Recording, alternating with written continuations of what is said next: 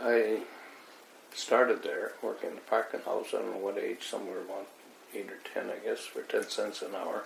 I was old enough to drive the tractor at about ten or twelve, somewhere in there, and uh, that's when the hard work started. I was basically responsible for uh, hauling the, the fruit from the orchard into the packing house and unloading it, and then go back out pick another load.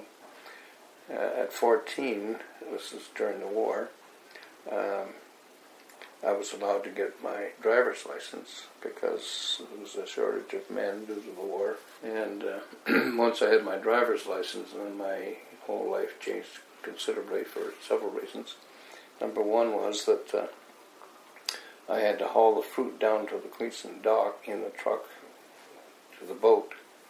Uh, the boat left at I believe 9:30, so frequently I was uh, up quite early, like six, five or six o'clock in the morning, to drive to Niagara Falls to pick up uh, workers and bring them down to the farm. Uh, we had a fa- well, extended family of Italians named Romanos who came and worked on our farm. Um, their cousins, their uncles, their aunts, you name it. Extended family, it was a whole pile of them. Wonderful, wonderful people. In fact, I probably thought they were wonderful, and they were, but they used to call me the big of the boss. Anyway, they they did a lot of work on the farm, but then so did I. Picked them up, had to take them back, of course, to Niagara Falls afterwards. Then load up the truck, haul the fruit from the packing house down to the dock, and unload it onto the carts they had for the fruit, and uh, then they shipped it off to Toronto on the boat, picked up.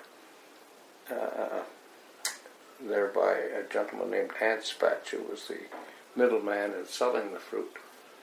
Taken to the St. Lawrence market where the storekeepers came and bought it, and the fruit that we picked one day was in the stores selling the next day. I should going to be rambling on here in a minute, but not only did uh, the, the Romanos gradually graduated from coming to the farm, when uh, the YWCA uh, organized a program for young girls to come to the farms and pick, help pick the fruit.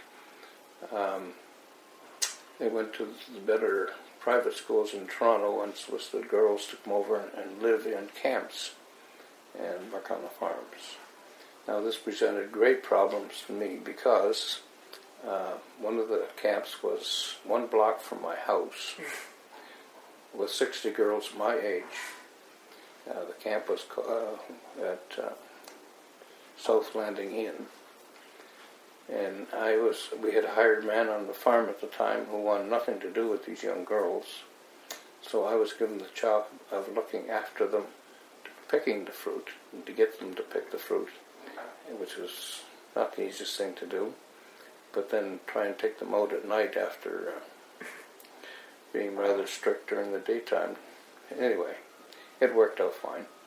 And uh, of course, being on the farm, uh, we had lots of gas for the truck. We had a half ton truck. And uh, with all these girls, and I had wheels, so my teenage years were fantastic.